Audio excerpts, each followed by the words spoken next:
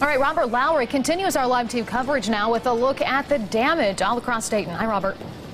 Well, rain continuing to fall tonight, but cleanup efforts already well underway from that damage that that storm that came through the area. Now, just behind me, this is Linden Avenue. You can see where they have Dayton Police DP&L crews out here cleaning up some down power lines over here. Part of Linden Avenue currently closed off, traffic being rerouted through uh, where we're standing here on Eastown Shopping Center. But really, damage is starting to be hidden by some of the darkness coming through here. But come tomorrow morning, there will definitely be plenty of cleanup. It didn't take long for neighbors to come help Ron Brewer get this tree off his home. A storm he describes is packing quite a punch.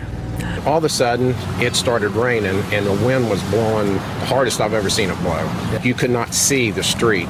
The wind was blowing so hard.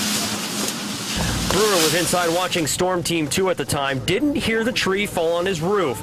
Once the storm passed, he, along with many others on the eastern part of Dayton, saw the damage that was done. It's unbelievable. Absolutely unbelievable. I see it, you know, I know these other people that have them big, gigantic storms come through.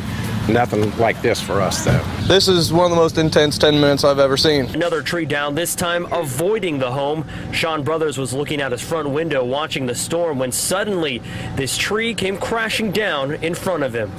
My car was in the driveway there. It was maybe four inches away from the car, maybe, let me say, five, six feet away from the house. Really? It's close. Real close. Cleanup already beginning for many people in the area. Some just thankful the damage wasn't worse.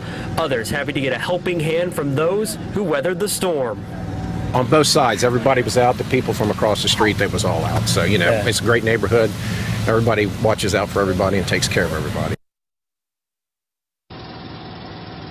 That down power line is going to be the problem throughout the night as they're cleaning up this one at Linden Avenue. Some some of the places we saw in the area around here, trees came crashing down into some of the power lines. One homeowner I spoke to says this one came right onto his property, crashed right there, uh, bringing down some of the lines around there. He can't do anything about it for now, though, because they're worried that it might still be turned on. They're worried can't move the tree because he might get electrocuted, so still having to wait until tomorrow morning to clean up some of the damage like many of the people around here. But if you do see any power lines in the area, you're asked to call DP&L immediately. Let them come out and take care of those.